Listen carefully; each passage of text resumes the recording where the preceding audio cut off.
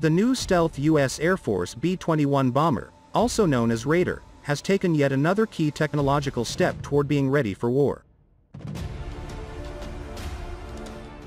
Naturally, details regarding its specific developmental nuances are not available, as it is a classified Air Force program. However, the service released a new artistic rendering of the B-21 Raider bomber with some new visual improvements. The latest Raider artist rendering graphic does not show any significant changes to the aircraft's general planform from the one seen in the early official rendering, but new images show a previously unseen design of the cockpit windscreen. According to a press release issued Tuesday by the Secretary of the Air Force, the new rendering highlights the future stealth bomber with Edwards Air Force Base, California, as the backdrop. The 420th Flight Test Squadron based at Edwards AFB will plan, test, analyze and report on all flight and ground testing of the B-21 Raider. When it comes to delivering America's resolve, the B-21 Raider will be standing by, silent and ready. We are providing America's warfighters with an advanced aircraft offering a combination of range, payload, and survivability.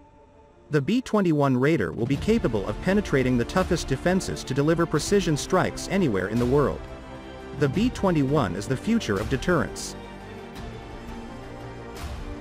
The B-21 Raider is a new high-tech stealth bomber being developed to replace the Air Force's aging bomber fleet. Designed to be long-range, highly survivable and capable of carrying a mix of conventional and nuclear ordnance, the B-21 will join the nuclear triad as a visible and flexible nuclear deterrent, supporting national security objectives and assuring our nation's allies and partners.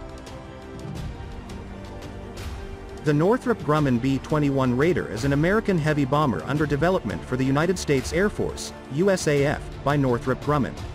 As part of the Long Range Strike Bomber Program, LRSB, it is to be an advanced very long-range, large, heavy payload stealth intercontinental strategic bomber for the USAF, able to deliver conventional and thermonuclear weapons. The B-21 Raider is the first new Air Force bomber since 1988, the year the B-2A Spirit was unveiled. Named after Doolittle's Raiders, the force of B-25 Mitchell bombers that bombed Tokyo in the spring of 1942, the B-21 is designed to overcome modern air defense threats, including such systems as the Russian S-400 surface-to-air missile system and Chinese J-20 stealth fighter to penetrate enemy airspace. The B-21 will be capable of carrying precision-guided conventional missions and nuclear weapons. As adversaries continue to invest in and develop advanced weapons, the B-21 Raider will provide the United States with a strategic asset capable of penetrating enemy air defenses and reaching targets anywhere in the world, something approximately 90% of the nation's current bomber fleet is incapable of doing. The B-21 will be a flying wing design, a specialty of Northrop Grumman's since the end of World War II. The blending of the fuselage and wing, combined with the lack of horizontal and vertical stabilizers in the rear, is generally thought of as the best shape possible to avoid enemy radars from all directions. A bomber penetrating deeply into enemy territory will likely have radar waves bouncing off it from multiple angles, making all-around stealth a necessity. The trend for the B-21 is a refinement of the B-2A's original flying wing shape.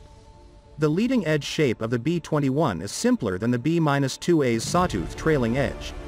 The cleaner, Simpler trailing edge is probably how the original stealth bomber was supposed to look, but in the 1980s a last-minute demand by the Air Force that the Spirit be capable of low-altitude flight necessitated an expensive design change.